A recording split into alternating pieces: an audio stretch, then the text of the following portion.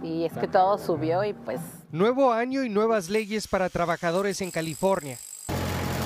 Desde quienes están en el campo hasta la oficina, construcción y restaurantes verán el impacto.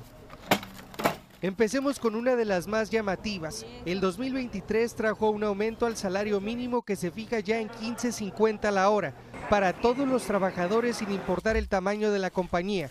Un estimado de 3.2 millones de empleados notarán el alza, pero ¿es suficiente? Sí te va a ayudar un poco, pero no va a ser la gran diferencia en verdad. ¡Sí se puede! Para quienes trabajan en el campo, movilizaciones como esta finalmente traen resultados. Una nueva legislación les permite votar por correo para sindicalizarse. El problema que los vean es que la compañía puede identificar quién está votando y después puede recibir eh, represión. Ahora, ¿qué pasa si usted como empleado necesita ausentarse para cuidar a un ser querido enfermo?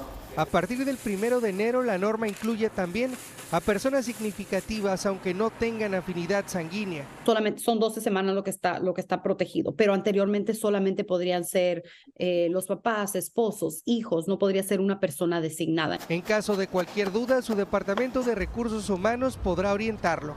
Francisco Fajardo, Noticias Telemundo.